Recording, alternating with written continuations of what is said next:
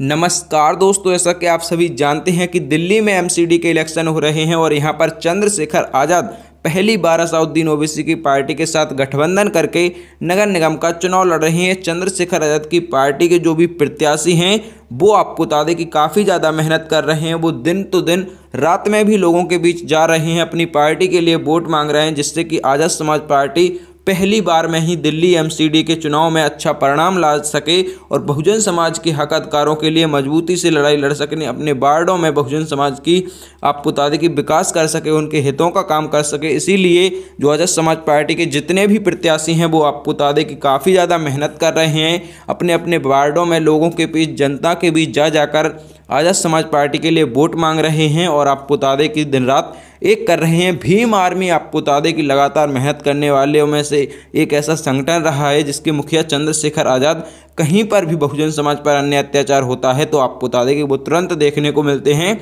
यही कारण है कि वो तेज़ी से उभरते हुए बहुजन समाज के यूथ आइकन के रूप में देखे जा रहे हैं और आपको बता दें कि दिल्ली एमसीडी चुनाव में उनकी पार्टी के प्रत्याशी भी खूब जमकर मेहनत कर रहे हैं। वहीं आपको बता दें कि मायावती की पार्टी ने भी अपने प्रत्याशियों की सूची जारी कर दी है। यहाँ पर अगर हम बात करें मायावती की, पार्टी के जो आपको बता दें कि स्टार प्रचारक हैं तो उसमें खुद मायावती का नाम है, आकाश आनंद हैं और आपको बता दें कि कई दिग्गज नेता हैं बहुजन समाज पार्टी के, जो दिल्ली एमसीडी में स्टार प्रचारक बने हैं और वहाँ पर प्रचार करने आएँगी, मायावती भी जाएँगी।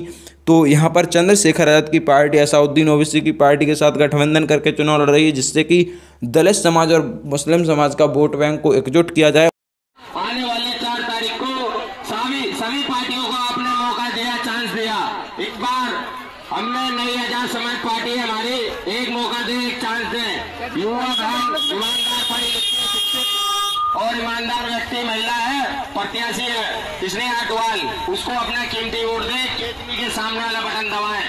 फ़िलहाल स्क्रीन पर आप जो वीडियो देख पा रहे हैं, ये आपको बता दें कि दिल्ली के सुल्तानपुर माजरा विधानसभा के चवालीस वार्ड क्रमांक से है। यहाँ पर आपको बता दें कि आज़ाद समाज पार्टी की प्रत्याशी हैं। स्नेहा अटवाले दिन रात आपको बता दें कि मेहनत कर रही हैं आज़ाद समाज पार्टी को जिताने के लिए।